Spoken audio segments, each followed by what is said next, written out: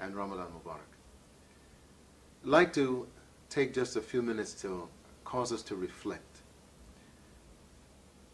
When the Quran is talking about this month of Ramadan, saying that this month in the Quran, Surah Al-Baqarah, the 183rd ayah says that, Ya ayyuhalladina amanu, O you who believe. And this profession, anyone can say that they believe.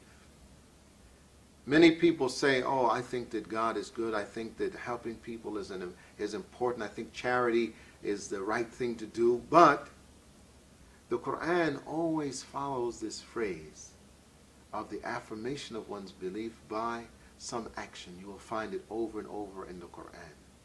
When Allah talks about faith, it's followed by action. إِنَّ الَّذِينَ آمَنُوا وَعَمِلُوا الصَّالِحَاتِ So in the month of Ramadan, we have this introduction, Ya ayyuhalladhina amanu, kutiba alaykum as-siyam. Fasting has been prescribed for you. It's been ordained for you. It is a prescription that the Almighty has written for you as that prescription was written for people before you. So you will not find any people, any religion in the world in which people have not had an institution of fasting whether they're Christians, whether they're Jews, Protestants, Catholics, whether they're Hindus, Jains, Zoroastrian, Buddhists, all of them will have some form of fasting. So if this is such an important uh, device that people can use, a tool that people can employ, what is the objective? And the Quran's reminder to us that the objective is, in the Arabic language, وَعَلَكُمْ تَتَّقُونَ That you would acquire taqwa.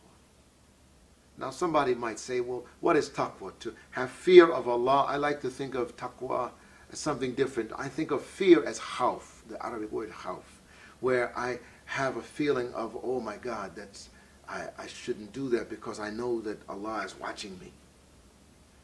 But taqwa is a kind, my teacher Muhammad al-Hanuti says, is a connection between you and Allah. Is a connection that reminds you when you do something that the Almighty is aware of what you're doing and you are striving in what you do to try to please that one. To keep the relationship of love and mercy united. And so the idea of acquiring taqwa through the institution of fasting so that I can use that connection to be an action of faith that says, I believe in the Almighty because I'm going to do what I was asked to do. To refrain from the feeding of my passions, of feeding my desires, of being so outward now to be more inward. And with that sense of consciousness then to say, what is it that I could do? What is it that I should do? How can I be of service to the Almighty by restraining myself from the feeding of my passions? People are passionate about many things. They have a passion for their drink, for their food, for their lusts in life. But to take time to bridle myself, to say to my body that it is my soul and my mind that are responsible and that it is my body that is acting out those desires rather than having my mind and soul be driven by the hunger of my body, the hunger of my desires. That I want to be a leader, a self-leader, that I lead myself, given this connection, that I lead myself toward those things that are. If we could use this 29 or 30 days Psychologists say that it takes about 23 days to create a habit.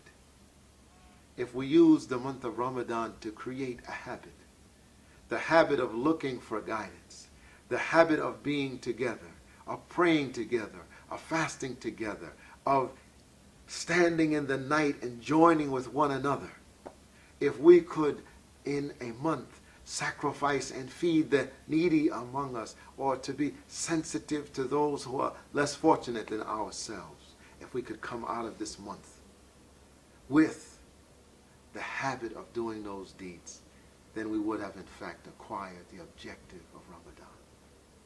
That this injunction, kutiba alaykum siyam, that we have been ordered to fast so that we would acquire taqwa. Tattaqun.